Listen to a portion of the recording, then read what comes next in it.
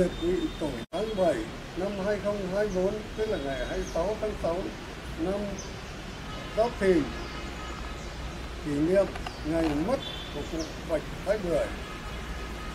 Chúng con thay mặt Hội đồng Họ đỗ đầu Việt Nam, câu lạc bộ doanh nhân Họ đỗ đầu Việt Nam và là hậu duệ của cụ đến phần mộ của cụ để khắp Họ đỗ đầu Việt Nam. Kính thưa quý vị cùng toàn thể các tay vàng ở khối óc thông minh, một ông vua tàu thủy quang vinh, nổi bật trong tứ hùng đất Việt. Vẫn sống mãi với non sông đất nước làm dạng danh ngoài giống tổ tiên, sống khôn tác kiêng. Xin hết lòng phù hộ cho doanh nhân hội đỗ Việt Nam Ninh của người. Chúng con xin kính lễ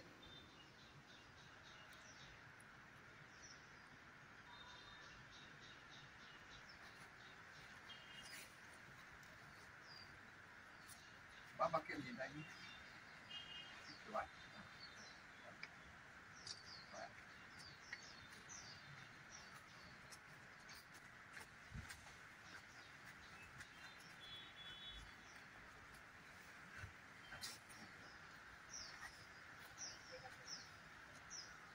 mất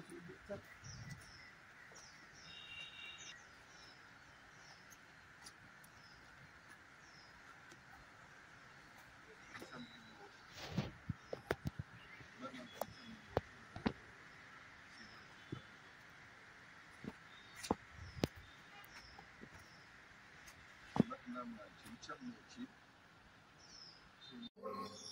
tháng 7 năm 2024 đến ngày 26 tháng 6 năm Giáp Thìn tại từ đường Hồ Hữu Văn Hoa Hà Đông Hà Nội Hội đồng Hồ đỗ đầu Việt Nam, chúng con trân trọng kính mời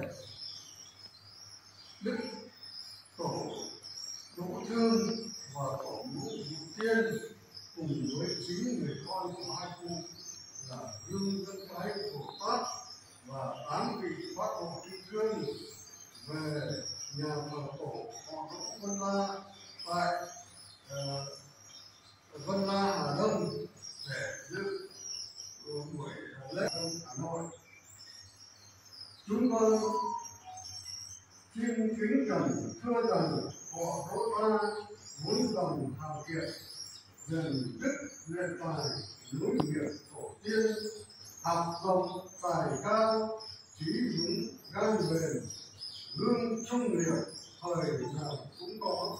Hôm nay, đứng trước anh linh thiên tổ, trước anh linh thủy tổ đỗ thương con cháu về, nghĩ về người trước, nhớ đến công an tổ tiên ta đã vun trồng cây đức cho con cháu muôn đời hạnh phúc, đời mỗi đời, hết trái đêm hoa. Kính nghe, tiên linh ta kiện cần, gây cơ nghiệp. Trung hồng giữ gia thanh qua bao cuộc biển. Các cụ đã về nơi thiên độ vẫn hết lòng phù hộ cháu con. Cả cuộc đời ngày càng thêm tiến bộ, núi con trao, con cháu làm vạn danh tiên thổ đời với đời, muôn thuở hiển linh. Hôm nay ngày lễ, ngưỡng mộ các bậc tiên linh, dâng bày lễ nhỏ, tỏ chút lòng thành cầu mong tổ tiên ban cho phúc ấn phù hộ bồ trì cho con cháu được yên lành.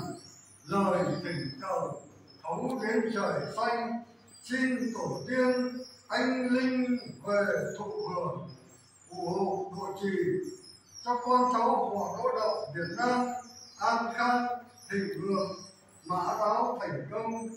Chúng con xin nguyện đồng tâm, đồng tộc, đồng lòng kính bái.